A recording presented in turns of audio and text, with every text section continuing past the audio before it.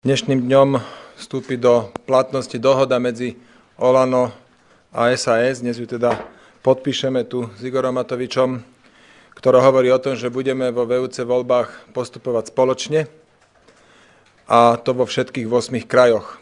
To znamená, aj keď budú niekde v krajoch širšie koalície, o tejto spolupráci povie viac potom Igor Matovič, aj keď budú niekde teda širšie koalície, budeme postupovať vždy spoločne. K tomu patrí aj to, že sme sa dohodli na už niektorých spoločných kandidátoch. Ešte nemáme všetkých kandidátov vo všetkých krajov, krajoch, ale myslím si, že v dohľadnej dobe navrhneme všetkých 8 kandidátov. Zatiaľ sú známi kandidáti traja za SAS. To je Juraj Droba pre Bratislavský kraj, Renata Kaščaková pre Trenčianský kraj a Martin Klus pre Bansko-Bystrický. O ďalších kandidátoch samozrejme budeme informovať. Dôležité je, že túto zmluvu dnes podpíšeme. Máme približne 7 mesiacov, 8 mesiacov do volieb. Vnímame to, že voľba je jednokolová, to sme sa už viackrát vyjadrili, že to považujeme za aj nekorektné, ale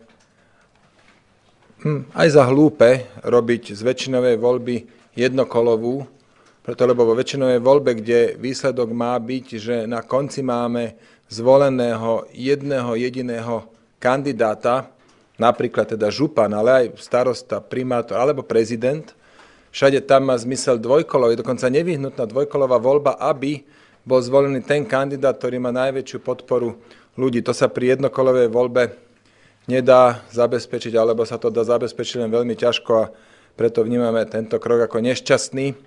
Napriek tomu rátame s ním, máme dostatok času do volieb, aby sme sa riadne pripravili a teda aj za týchto nových podmienok eh, v tých krajoch, kde nastúpime, alebo respektíve v niektorých zvíťazili. Aj keď sa to možno mnohým nezdá, najradšej by VUC zrušili. Realita je taká, že VUC rozhodujú ročne o viac ako miliarde eur, ako sa použijú v našich regiónoch. Rozhodujú o tom, po akých cestách budeme chodiť, ako kvalitná bude starostlivosť v nemocniciach, ako kvalitne sa postarajú domoví dôchodcov o našich starých rodičov. Ako kvalitne budú vyučovaní, vyučované naše deti alebo vzdelávané naše deti v školách, ktoré patria pod vúcky. Sme presvedčení o tom, že Slovensko a čestní ľudia na Slovensku si zaslúžia nádej. A nádej v politike znamená, že chcú vidieť zodpovedné politické strany a hnutia, aby spolupracovali. A preto som veľmi rád, že aj dnes spečatíme podpisom našu vzájomnú spoluprácu medzi stranou SAS a našim hnutím obyčajní ľudia a nezávislé osobnosti. Naše dve politické strany, alebo strana a hnutie, dostali vo voľbách skoro štvrtinovú podporu všetkých platných hlasov a aj dnešné preferencie približne plus minus tomu zodpovedajú. Preto je zodpovedné a zodpovednosť káže, aby sme sa spoločne stali jadrom alternatívy, ktorá sa chce postaviť voči nezodpovednosti, ktorú praktizuje hlavne strana Smer v, vo vyšších územných celkoch a dlhodobo. Máme predsedov vyšších územných celkov, ktorí Popri tom, ako sú predsedovia, ako napríklad pán Chudík, si podpíšu biznis na fotovoltaickú elektráreň, kde za 15 rokov im zo spoločného cez naše účty za elektriku zaplatíme 11 miliónov eur. Iba konkrétne tomu jednému človeku, ktorý je dnes predsedom vyššieho územného celku. Máme predsedov iných, ktorí robia kšefty s CT a kúpujú CT dvakrát drahšie, ako by mohli pre nemocnice, ktoré sú v ich kompetencii. Hovorím o pánovi Blanárovi v Žilinskom VUC.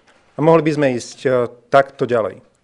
Tak ako som povedal, chceme byť základom, tým jadrom, pevným jadrom, ktoré dlhodobo spolupracuje navzájom pri vytvorení alternatívy voči súčasnému vládnemu zlepencu. Táto zmluva samozrejme znamená, že každá ďalšia politická strana a hnutie, ktoré to myslí so Slovenskom úprimne, je vítaná sa pridať. Áno, hovorili sme už o tom, že našim cieľom je, aby sme pre spoluprácu získali politické strany, napríklad eh, kresťansko-demokratické hnutie, alebo v niektorých krajoch aj stranu Maďarskej koalície.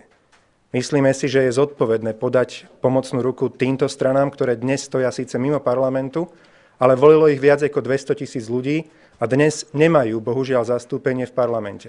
Chceme ísť touto cestou, chceme zjednotiť demokratickú opozíciu a v tejto zmluve vylúčujeme spoluprácu jedine so stranami Smer, sociálna demokracia a Kotleba, ľudová strana, naše Slovensko.